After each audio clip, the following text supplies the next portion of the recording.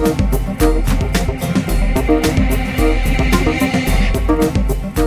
everybody, Brick Lover 18 here today with Lego haul number 26. Today's haul is from Lego Shop at Home. So I'm just going to open it up. I'm going to step in front of the camera here and I'm actually going to open it up wearing my Duck Dynasty pajamas. So, yeah, I got my handy dandy red tool as I call it. And it came in a super big box.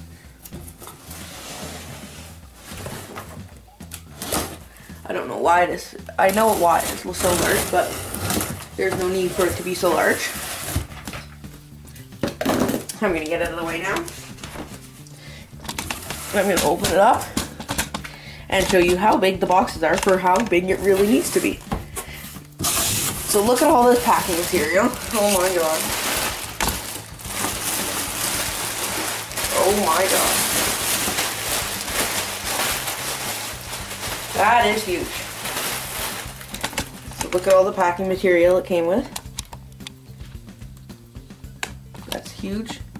So let's actually get into the order now. Okay. I got set number 70801, the melting room. Set number 70803, Cuckoo Cloud Palace. A Series 11 minifigure, which were on sale. A wall poster and sticker, whatever they're called. I got this, wall stickers. Planning on putting that in my uh, walls. So look at how big they are. That's why the box is so big.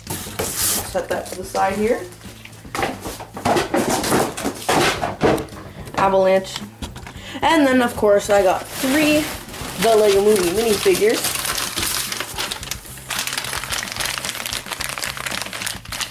Three Lego Movie. And set number 70800, the Getaway Glider, with 104 pieces. So that's really awesome. Part B to the of this haul will be coming. One part was on back order. It said shipped in 30 days, but I just got a FedEx notification that it shipped actually today. So that is really, really awesome. So thanks for watching this video by Brick Lover 18. But before I go, this order total came to $74. What is that? Okay. Oh, this part actually total here. It just here. This part came to 42.40, and then the other part uh, put me over 75 for free shipping. And with taxes and all everything, the total order came to $90, I think. And with $60 in VIP points, and with a $10 Lego gift card that you got for spending certain amount of money on Black Friday, because my parents did, I got this order for $10. The entire order, $10. That's really cool. So thanks for watching this video by Brick Lover 18.